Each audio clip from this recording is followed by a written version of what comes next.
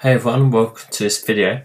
So I'm going to um, do a test for you guys um, whether wireless or power line is the best route to go down for your internet. I'm with um, Sky broadband at the moment and I'm getting different speeds between power line and wireless, this 2.4 GHz wireless because that's it.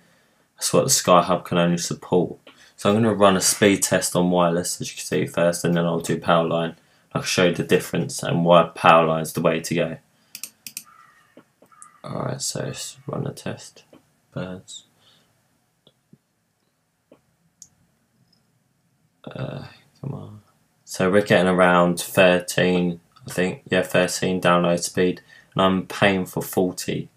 So, yeah, about upload speed sort of the same over wireless, I think yeah, so you could tell it's like much slower, about just about four times slower, a bit over four times slower. So now I'm going to do power line. Pause the video. I'm going to do power line. So I probably just repeated what I just said, but there you go.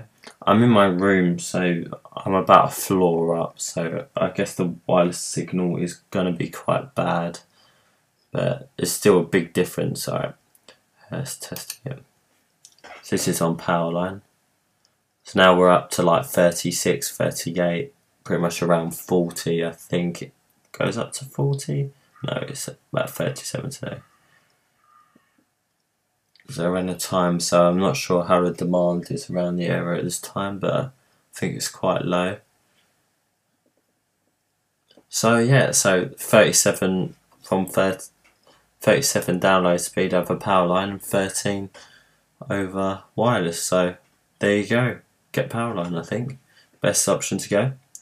Thanks for watching. Cheers.